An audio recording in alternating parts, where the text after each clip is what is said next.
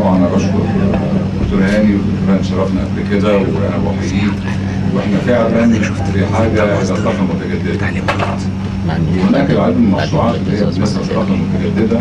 زي ما حضرتك بالنسبة لطاقه الرياح بالنسبة لتوليد الطاقة بالنسبة للمراكب المعارضه كلها بالنسبة إن إحنا بنولد يعني زي ما زي بالظبط مساله التوربينات بالظبط.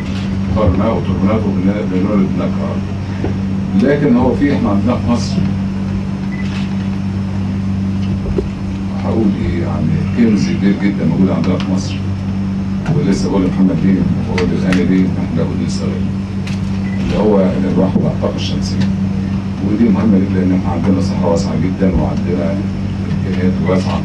وكما سمعت بالنسبة للتعدين عندنا في مصر بالنسبة للسيليكون. السيليكون ده يمكن ما الا من حوالي ست شهور بس. إحنا كنا كنا بناخده آه، عادي. رمله بدل صناعة من الكريستال وي والكلام ده. لكن فوجئت لقيت ان هي ده يعتبر أساس الثروه في مصر. وعندنا كميات كبيرة جدا وللغرابه إنها بتصدر بملاليم المتر ب- المتر بيتاخد من المحجر أظن ب 2 جنيه بيتباع بحوالي 400 جنيه. وده طبعا أنا بعتبره إن ده يعني قمة الإهدار للمال العام في مصر. وبتصنع منه كان آه، ارجو برضك إن هاني بيه على الكلام اللي هقوله برضك كده عشان نبقى عارفينه. فده فوجئت لقيت انهم بيقولوا لي على سعر طبعا مش عاوز أقول يمكن يكون مبالغ فيه اللي هو الفلز السيليكون مبلغ كبير جدا يعني حاجة يعني عالية جدا. أتمنى إن إحنا فعلا وسيادة الوزيره يمكن موجودة مشرفه معانا وهي بتركز فعلا على الطاقة البديلة الطاقة النظيفة اللي هي مبقاش فيها تلوث وهي الطاقة الشمسية بالفعل أو سواء طاقة الرياح أو أي نوع من أنواع الطاقة. لكن لابد إن إحنا نعمل بأسرع ما يمكن. إن إحنا أول حاجة ناخدها اللي هي التكنولوجيا. لأن نهار ما أنا هبدأ أستورد من بره أي حاجة معدات أجيبها اولد بقى الطاقة هتبقى تكلفتها أعلى بكتير بالنسبة للطاقة نفسها. فدي مهمة جدا ولابد إن إحنا نشوف إزاي التكنولوجيا وهي عملية صعبة كما أتذكر هاني بيه إن هي إن أي دولة هتدينا السر بتاعها في التكنولوجيا لكن إحنا لابد إن إحنا عندنا العلماء بتاعنا وعندنا أبحاثنا وزي ما دكتور صبري قال إذا كان في علماء إذا كان في حاجة أتمنى محمد بيلي يتبنى هذا الموضوع ونبدأ إزاي نفعله إن إحنا نجيب العلماء بتوعنا إزاي إن إحنا نصنع هذه المعدات في مصر أو ال ال الأدوات اللازمة بالنسبة لإنتاج الطاقة المتجددة. ده نمره واحد، نمرة اثنين إحنا عندنا يمكن برضك لسه كنا بنتكلم عن سياده الوزيرة بالنسبة للزباله مشكلة الزباله في مصر اللي هي عمالة تعمل لها برامج والكلام ده كله. العديد طبعا تقدم لنا والعملية في أوروبا برضك من ضمن برضك أحد مصادر توليد الطاقة اللي موجودة عندنا في مصر. إحنا نقدر نسد بيها العجز ونقدر نتخلص من الزبالة الموجودة عندنا في في اللي هي مشكلتنا بصفة عامة يعني. إحنا يمكن سيادة الوزير المشكلة بتتكلم عن مشكلة الفحم. إحنا عندنا الزباله ممكن تسد جزء كبير جدا برضك من الوقود بالنسبة لمصانع الأسمنت وبالنسبة للطاقة الموجودة. لكن الطاقة من الطاقة الشمسية بعتبرها أهم مصدر عندنا في مصر. وكما قيل لي طبعا مش خبير يعني في هذا المجال خبر يمكن مع الوزيره وهاني بيه فيها بالنسبة للطاقة الشمسية في مصر. لها نظام مختلف تماما عن عن العالم كله مصر بالذات. وبالتالي يمكن بيعتبروها في الاتحاد الأوروبي أو أمريكا بيعتبروها إنها مخزن الطاقة في مصر. هي مصر بالنسبة للطاقه الشمسية بالذات. فأتمنى إن إحنا بالفعل إن إحنا هنبتدي إن إحنا نبدأ نشتغل. وأنا تصوري الشخصي قبل ما نعمل برامج الحكومة إحنا عندنا في اهدار بالنسبة للطاقة. المشروع بتاع سيادتك كان لسه كان حد بيسألني امبارح لما جيت شرحته له. سيادتك شرحته دلوقتي.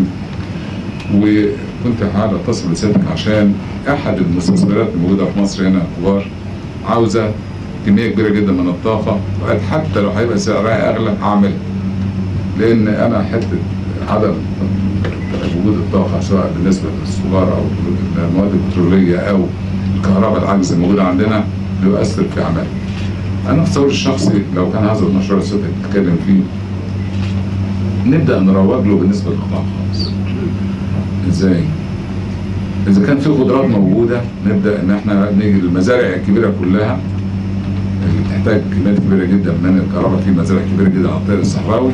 ممكن نبدأ نطبق ممكن نجيب المستثمرين الموجودين ويكون في دراسة جدوى فعلية ونبدأ نديرهم لسبب لأن أنا في تصوري الشخصي عشان نبدأ من الحكومة في الأول لا والله تعالى اعمل المشروع الفلاني وهل القدرة المالية عندنا هتسمح أو الميزانيات بتاعتنا هتسمح.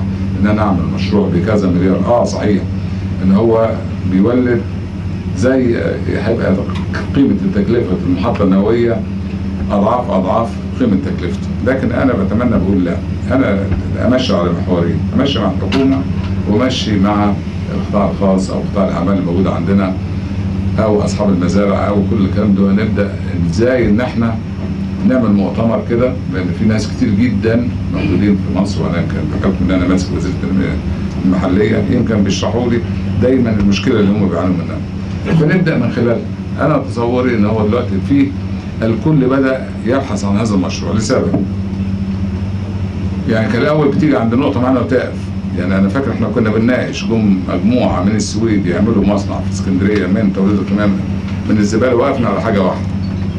سنة 2009 وقفنا على سعر الكهرباء فرق سعر الكهرباء اللي هيبدع اللي هيبيع الدعم ووقفنا عليه. وعلى ما اتذكر كان حوالي 3 3 قروش ويومها المشير طنطاوي قال كان حاضر الجلسة مع الأستاذ الدكتور عاطف الدكتور نظيف واتفقنا إن هم اللي إحنا كنا بندعم يعني إحنا كنا في اسكندرية بندعم الشركة اللي بتقوم بعمليه نظافه كل شهر ب 12 مليون جنيه يعني 144 مليون جنيه لوحدها. والمقالب كنا مبلغ في نفس حدود المبلغ ده. فكان مبلغ كبير جدا. فقال ناخد المبلغ ده نحطه ندعم بيه الفرق بين سعر البتاع ونعمل محطة كتجربة.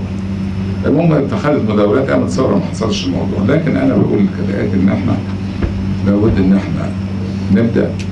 الناس كلها دلوقتي متصورة إن بعد سنة وهو ده ودي الحقيقة فعلا. بعد سنة أو سنتين هتتحرر سعر الطاقة. وبالتالي الكل بدأت هجمة كبيرة جدا دلوقتي إن هم عاوزين اللي يخش عاوز يولد من القمامه واللي عاوز يولد من الطاقة الشمسية. لكن لابد إن إحنا ندعم هذا الوضع إن إحنا دلوقتي.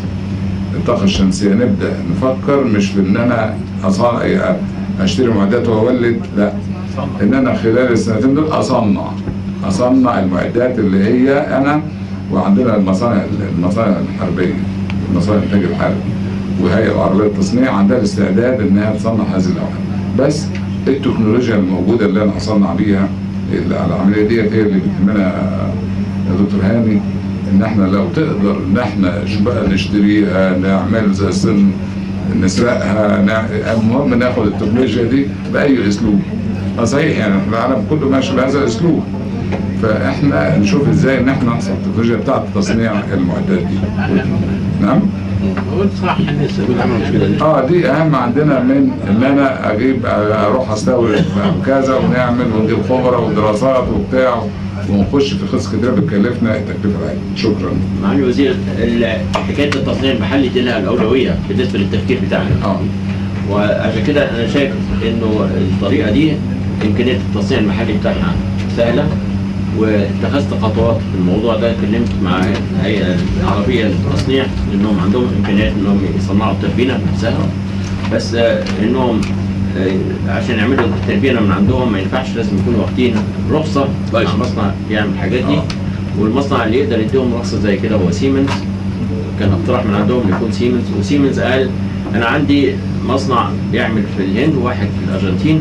ما نقدرش نعمل مصنع في مصر إلا يكون فيه سوق ويكون فيه تصريف كتير للمنتجات. فلما نعمل محطات كبيرة جدا آه، 500 و600 ميجا وات هتطلع ثلاث أربع محطات في السنة.